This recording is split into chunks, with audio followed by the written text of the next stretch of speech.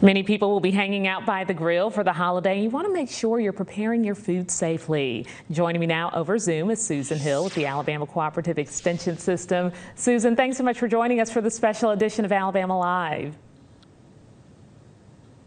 Thank you for inviting me. How are you? I'm doing well. What are some steps that we need to take if we're cooking food or working with food for the holiday? The first thing is wash your hands. There's so many things that live on our hands that we don't think about. Wash your hands. Um, what if you don't have running water? Take an extra bottle of water. This way you can wash your hands. You can dry them with the towels that you bring that you're going to use later. Also, um, make sure if you don't have a bottle of water, you have hand wipes or hand sanitizer, things of this nature making sure that uh, your hands are clean. You have fruits and vegetables, make sure that you wash them, bring that extra bottle of water. Um, preparing your meats, that's the number one thing. You want to make sure that you have a separate cooler for everything that you bring. You want, and know everybody's going to have a fresh hamburger or a fresh steak.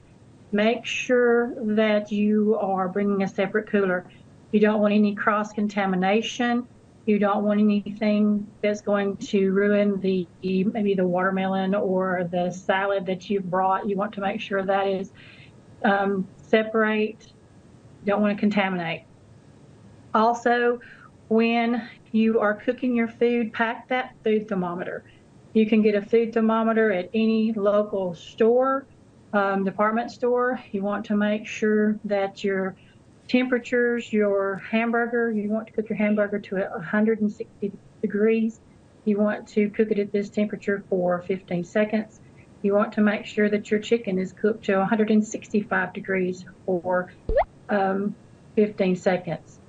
Steaks, 145 degrees after three minutes. After the 145 degrees, let them set for three minutes. Take the temperature. They have to be at 145 degrees. You don't want to make anyone sick from what you have cooked. So what do you do after you get through cooking?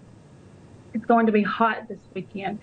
You want to make sure you eat within the hour of you cooking the food. Uh, normally the rule is two hours, but it's going to be so hot. It's going to be 90 degrees and above. You want to make sure that everyone eats at the same time so you won't have anybody getting sick. You want to make sure that um, little hands, little children, they want to help make sure their excuse me make sure their hands are washed. Make sure that they are not going to be, become sick because nobody wants to get sick during the fireworks show. Your leftovers. Make sure that your leftovers if you have any bring you're going to have several coolers but make sure those coolers have ice in them to keep those foods cool before you prepare Make sure you have a cooler to um, have your fruits and vegetables, your salads, the ready to eat foods cool. And if you have leftovers, which planning ahead of time will decrease this, you want to make sure that you have a way to cool down those foods and keep them in that cooler with ice. If you don't like ice, you can have um, ice packs. Make sure that they're clean as well. You want everything clean. Also, planning. Make sure you just plan for those folks that are going to be there.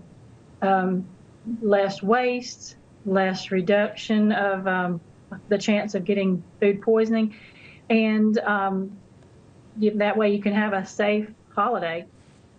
All right, Susan, a lot of good information here. Thanks so much for joining us here on Alabama Live. We appreciate it. You're very welcome.